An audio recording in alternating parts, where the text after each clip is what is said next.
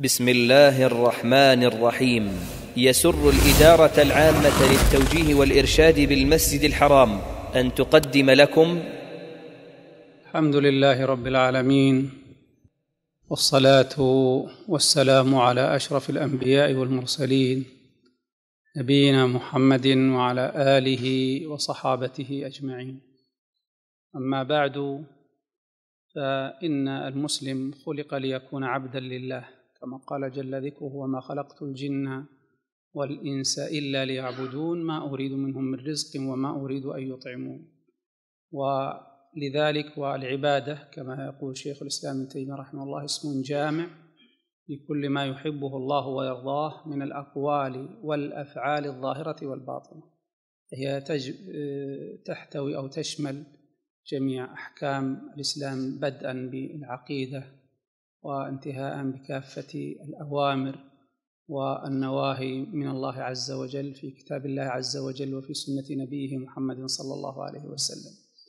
والمسلم مخاطب بأن يتعلم ما لا تصح عبادته إلا به.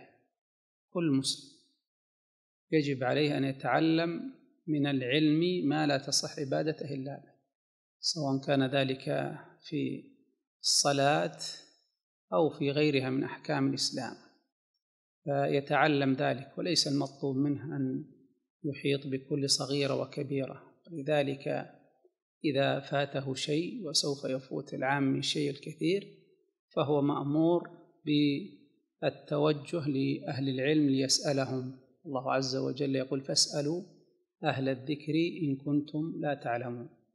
وأهل الذكر هم أهل العلم. الذين ندبهم الله عز وجل ندب فرقة وطائفة من المسلمين لتعلم العلم الشرعي ليعلموه الناس ويثقفوهم وينذروهم ويفتوهم فيما يصحح عباداتهم. ومن هنا فإن طالب العلم عليه عبء ثقيل لأداء زكاة ما تعلمه وإرشاد هؤلاء السائلين بخاصة ونحن في مكة المكرمة بل وفي الحرم المكي تأتي إلينا كافة الأمم الإسلامية من كل حدب وصوب من كل فج عميق يؤدوا هذه الشعيرة شعيرة الحج ركن الحج أو العمرة. وإذا أتوا كثير منهم يمكن حتى الأبجديات يجهلها. في حاجة إلى توجيه وتعليم وإرشاد في جميع المجالات وهي لا شك فرصة لنا ولهم لنا بأن نرشدهم وأن نفيدهم ونحظى بالأجر والثواب من الله عز وجل. ولهم ليتعلموا ويتثقفوا ويحرصوا على أداء عباداتهم على الوجه المطلوب المرضي شرعا. لأن العبادة كما تعلمون لا تصح إلا إذا كانت خالصة صوابا خالصة بنية خالصة لله عز وجل وصوابا موافقة لهدي كتاب الله عز وجل ولسنة نبيه محمد صلى الله عليه وسلم. والذي يتصدى لهذا الأمر يجب أن يكون مؤهلا للتصدي للفتاوى في هذه المجالات. والعلماء حينما تحدثوا عن الفتوى ذكروا من شروطها الإسلام والعدالة وذكروا أيضا من شروطها التحصيل العلمي. وهل يشترط الاجتهاد؟ أم يكفي التقليد؟ الصحيح أنه يكفي التقليد لأنه اشترطنا الجهاز؟ الاجتهاد لا المجتهدون نزر والحاجات أوسع من ذلك بكثير. لذلك قال ابن القيم في اشتراط في الاكتفاء بالتقليد قال وهو الصحيح. وقال ابن هبيرة كما في الإفصاح حينما تحدث عن شرط الاجتهاد للقاضي قال أنه يكتفى بالتقليد ثم قال أن المقلدة سدوا ثغرا لا يمكن سده بدونهم. يريد في مجالات الإفتاء والقضاء وما يتعلق بها مما يتعلق بحاجات الناس. والشخص يحرص على تأهيل نفسه. لأنه لا يمكن شخص أن يتصدى بهذه الأمور العظام آه، الكلام في العلم والحلال والحرام ونسبة ذلك للشرع إلا لشخص تمكن فيه. وحينما نقول يكتفى بالتقليد قال العلماء بشرط فقه النفس. ومعنى فقه النفس هو الفهم الدقيق والعميق لمقاصد الكلام من غير معاناة. بمعنى يكون عنده فهم وتصور للحكم الشرعي تصور وفهم صحيح تصور أيضا للواقع الذي يستفتى فيها تصور صحيح وقدرة على تطبيق تنزيل هذا على هذا. ومراعاة ظروف وأحوال كل قضية. فإن الأحكام هي مبنية على التهيئة الظاهره كما يقول الإمام الشاطبي. بمعنى أن الفقيه حينما يعد الحكم الفقهي يتصور تصور عام نظري ويحدد الأوصاف على ضوء الأدلة والعلل ثم يقرر الحكم. ولكن هذا الحكم الذي يقرر هو له خاصيتان العموم والتجريد. العموم بمعنى أنه هيئ ليكون يدخل فيه ما لا يتناهى من المسائل والتجريد أنه تنظيري ودور القاضي دور المفتي آه، وكذا القاضي إذا أراد أن يطبق دور المفتي إذا أراد أن استفتي في واقعة فإنه هذا الحكم الذي يحدد للتطبيق يكون بدلا من عمومه كأنه يخصه بهذه الواقعة. وبدلا من تجريده صورة في الذهن فعله على هذه الواقعة فجعله واقع حي يتحرك ويتفاعل مع الواقع. ولذا ينبغي أن يتنبه المفتي أيضا لظروف الواقع وأحوالها وما يلم بها. فإن كما يقول الإمام السهيلي فيما نقل عنه ابن حجر إن الحظر والإباحة صفات أحكام لا صفات أعيان.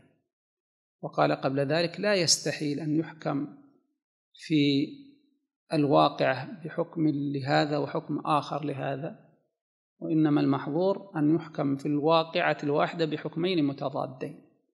ثم قال والحظر والإباحة صفات أحكام لا صفات أعيان. صفات أحكام بمعناها مبنية على العموم والتجريد.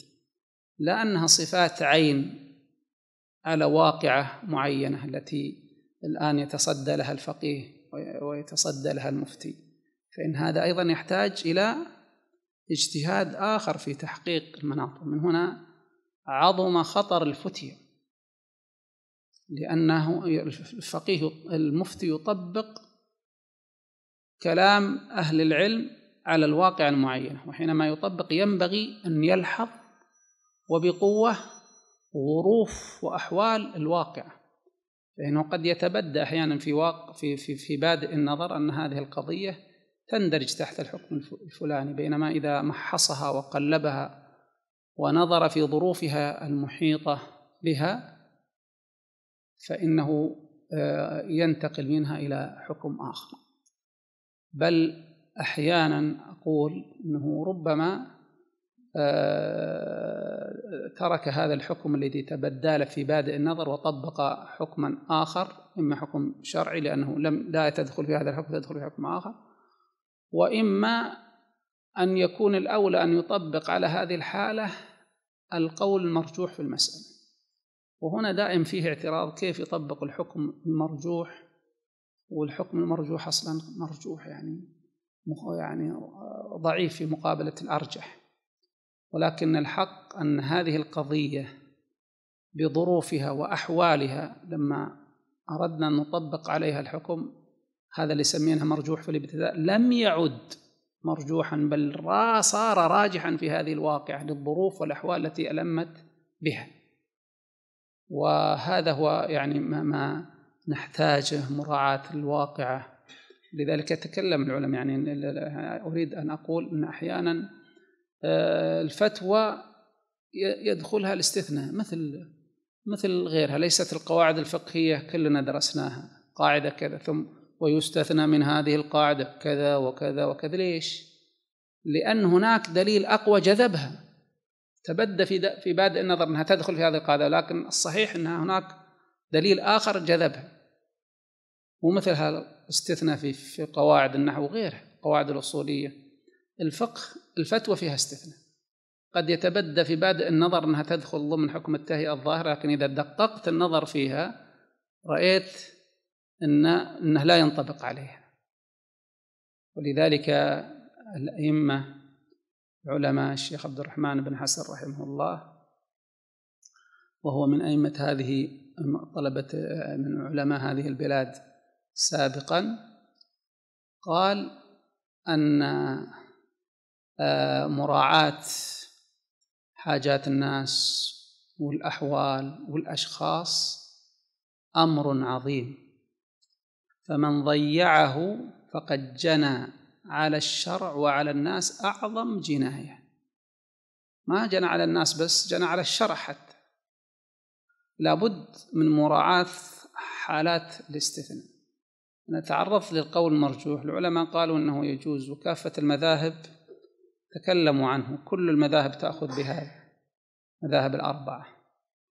ولكن القول المرجوح ليس أول شيء يكون هناك حاجة أو ضرورة تستدعي أن ننتقل من من الراجح إلى المرجوح. الأمر الثاني أن لا يكون القول المرجوح ضعيفا أو شاذا مخالفا للدليل.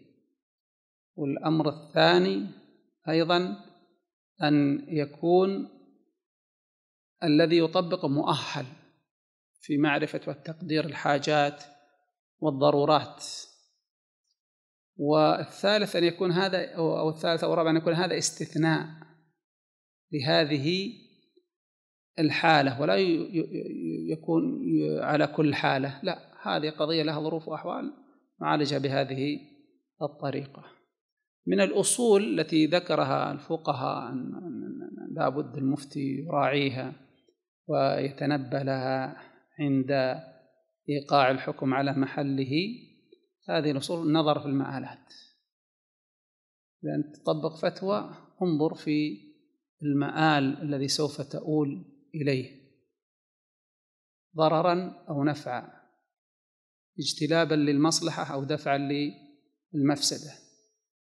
وإذا هذا إذا رأيت أن حكمك ويخالف هذا فاعرف أن التطبيق فيه إشكال. حينما نتكلم عن المصلحة أو دفع المضرة ما شهد له الشرع بالاعتبار وليس مجرد التشهي ويعني إعمال العقل في معارضة النصوص. هذا لا أحد يقول به.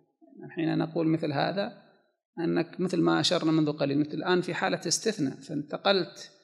ينبغي إذا كنت تنتقل أن تنتقل من من من من من من, من دليل إلى دليل أقوى هو أولى بالتطبيق في هذه الواقعة.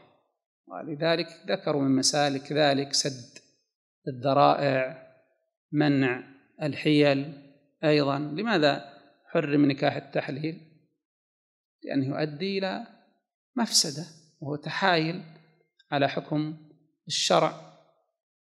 وهكذا يعني نكاح التحليل في صورته كامل الأركان والشروط ورضا وما لكن لما انخرم فيه أمر مهم وهو عدم قصد الاستدامة وإنما فقط لتحليلها لزوجها حضر وعرف أنه تحايل على حكم الشرع والتوصل إلى إلى المحرم بأمر ظاهره الإباحة والجواز.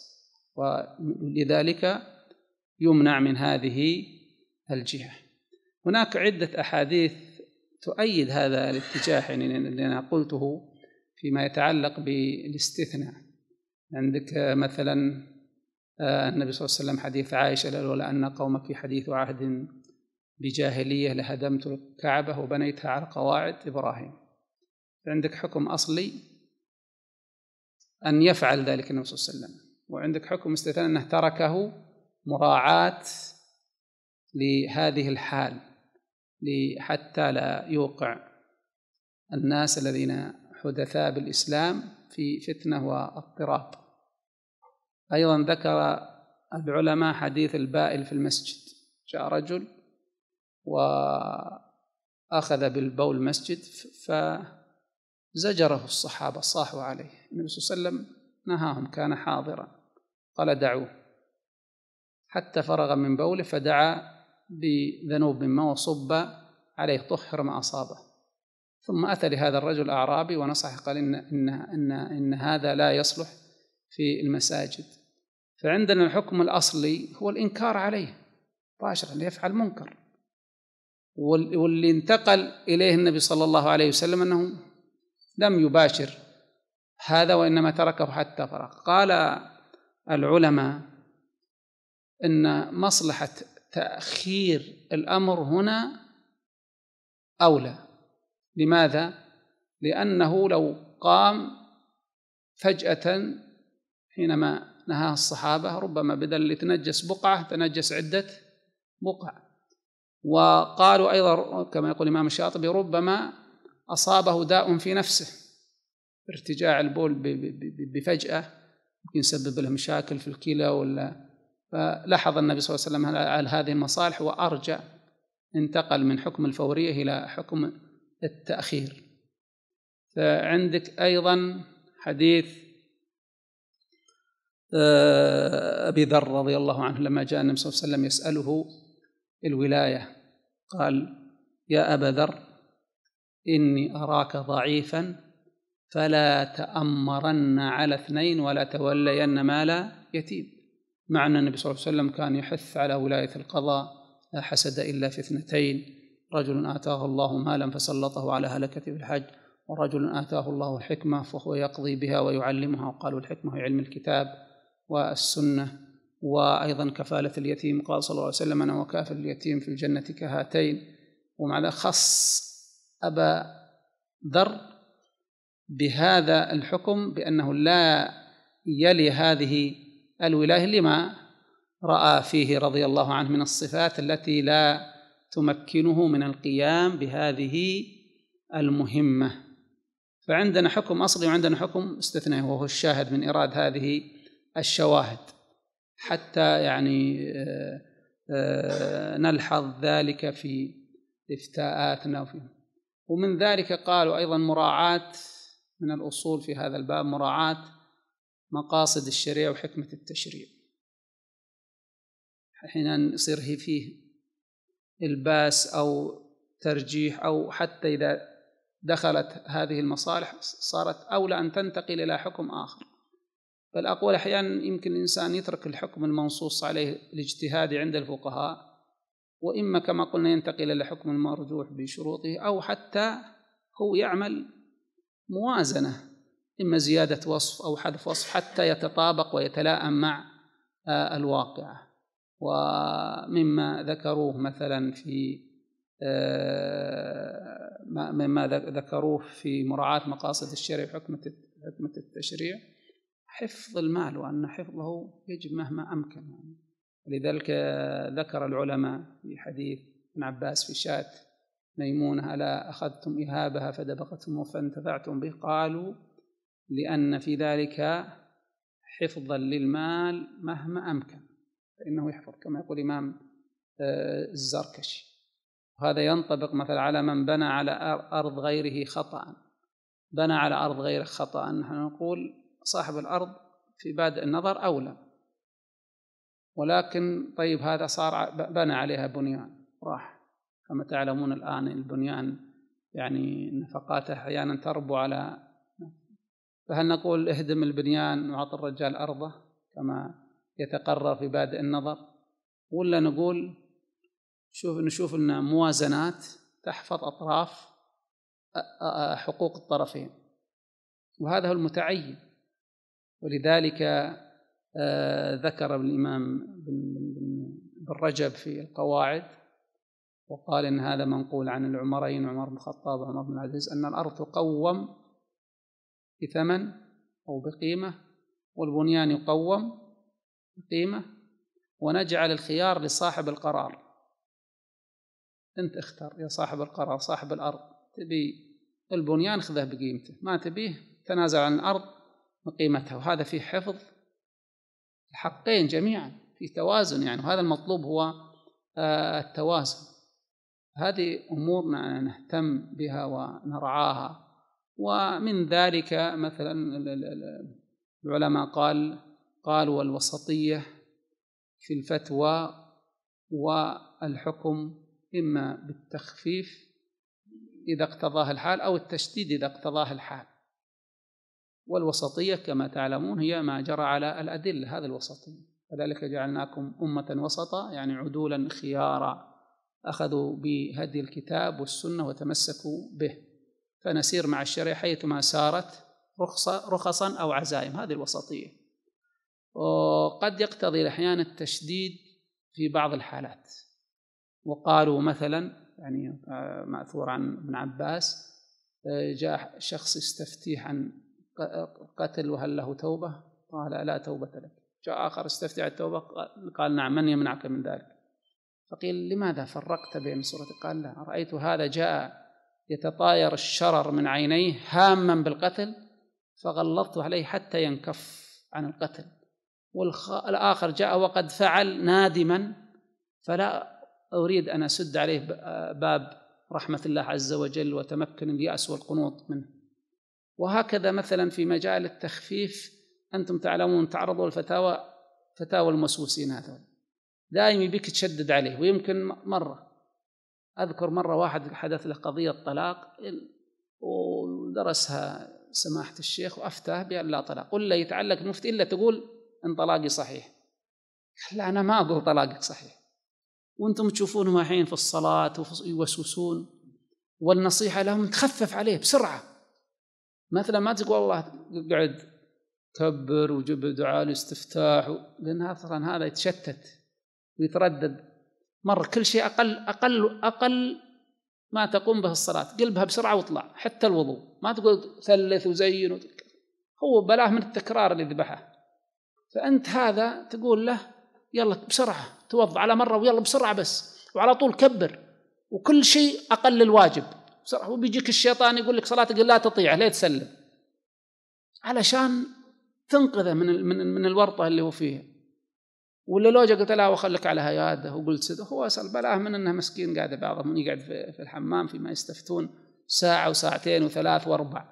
وإذا يصلي يعيد الصلاة لا يدخل وقت الثانية. الين مثل هؤلاء يحتاجون إلى شيء من من التخفيف والرعاية وهكذا. هذا يعني والحرص على التعامل مع الناس والرفق بهم وأن يفتي الإنسان فيما يعلم والذي يخفى عليه ما يدفعه لزميل آخر أو بإمكانه هو حتى يرفع الهاتف على زميله ويسأله ما حصل هذا وهذا؟ ماني مكلوف أقول تعال لي بكرة وأبحث المسألة. كل يعني أهم شيء لا لا لا نصدر إلا عن شيء صحيح. ونجتهد بما تبرأ به ذممنا. والمسائل اللي لها الطابع العام والرسمي مثل فتاوى الطلاق أيضا ما نتعرضها. فتاوى دائما حتى اللي من خارج المملكة. راجع دار الإفتاء في بلدك. اللي من المملكة رح شوف في فرع للإفتاء رحلة في مكة مثلا. حتى توحد. لأن هذه المسائل هذا يفتي وذا هذا هذا نكاح.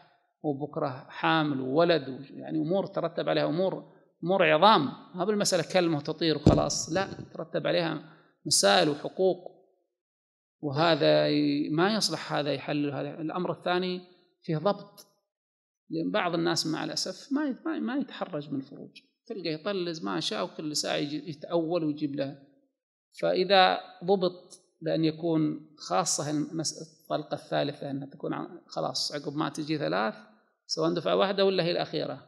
راح لدار الإفتاء عندهم ترتيب وتنظيم واستمارات يعبيها واسمه وبطاقته وصيغ الطلاق ويسجل في الكمبيوتر برقم بطاقته. حتى لو جاء عقب سنين وجاب طلقة ثالثة شغلها الأول محفوظ. وحتى لا لا يعبث. وهذا مرتب حتى من وقت سماحة الشيخ عبد العزيز بن باز الله يرحمه واستمر الأمر حتى الآن. لأنه جاءه مرة شخص طلق وكتب ملأ الوثيقة الاستبان هذه اللي على وجه. ثم لما شاف الفتوى مصلحته تعود حرف في الكلام شوي. وأفتاه الشيخ فتوى بخلاف فتوى أفتاه به سابقا لما أرسلها للقاضي الشيخ قال القاضي يا شيخ هذا سبق جاءنا فتوى منكم في الموضوع نفسه قبل كذا سنة وعادها للشيخ. الشيخ قال الفتوى على ما ذكرنا سابقا ويحال المحكمة لتأديب نظير كذبه في استفتاءه. هذه أمور أنا أيضا ودنا ما ما ندخل فيها نحولها الجهة الرسمية حتى لو كان خارج البلاد لهم أحيانا يعني آه، آه، مذاهبهم في الطلاق وضبط الطلاق وترتيب الطلاق. وحتى أحيانا العادات في الكلام لها تأثير على الفتوى بليغة جدا. فهو أدرى ديرته هل ديرته أدرى به مشايخ ديرته أدرى به في هالمسائل وهذا ما أردت بيانه وإيضاحه. أسأل الله عز وجل لي ولكم التوفيق والسداد وأن ينفعنا بما علمنا ويعلمنا ما جهلنا ويغفر لنا ولوالدينا. إنه سميع مجيب. وصلى الله وسلم على نبينا محمد وعلى آله وصحابه أجمعين. بارك الله فيكم ووفقكم. وأنا أقول سلامي لمعالي الشيخ عبد الرحمن ونائبه وكافة الزملاء العاملين. وأشكركم أيضا بإتاحة الفرصة للقاء بالإخوان المشايخ وتحاوروا معهم. جزاكم الله خيرا على هذه المناشط الطيبة التي فيها دعم وإقامة أيضا دور المسجد الحرام وتثقيف وتوعية الذين يقومون بدور الإفتاء فإنهم هم الموقعون عن الله عز وجل ودورهم كبير. ومهم نسأل الله عز وجل التوفيق والسداد للجميع.